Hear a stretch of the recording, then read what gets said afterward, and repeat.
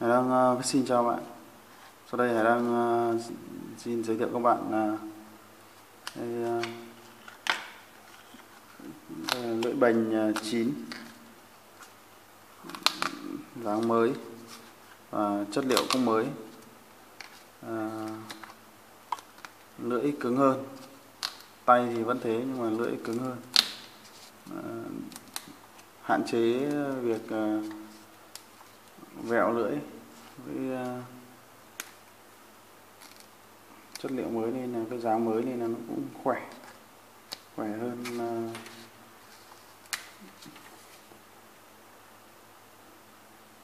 đây bạn giá.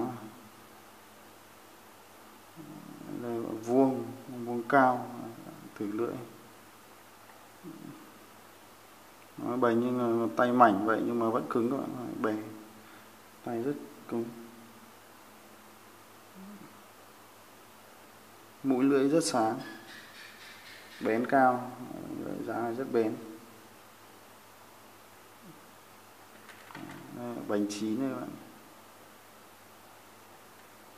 Tay cước nhỏ, rộng.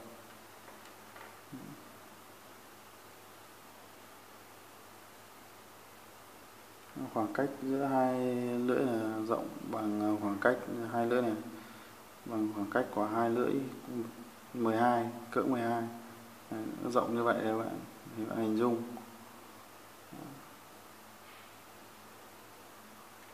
Chỉ dưới. Nút buộc ờ, thắt nút. Mối buộc ờ, liên kết giữa cước và lưỡi là thắt nút các bạn nhé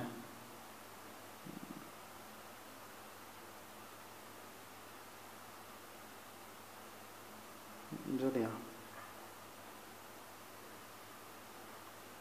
dáng ở lưỡi đây các bạn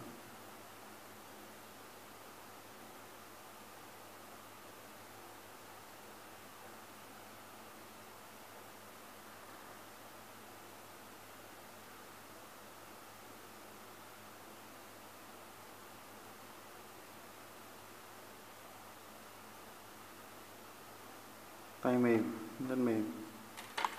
Đấy, vừa rồi Hải đang uh, phát sinh đã giới thiệu các bạn là uh, lưỡi câu bành chín dáng vuông này.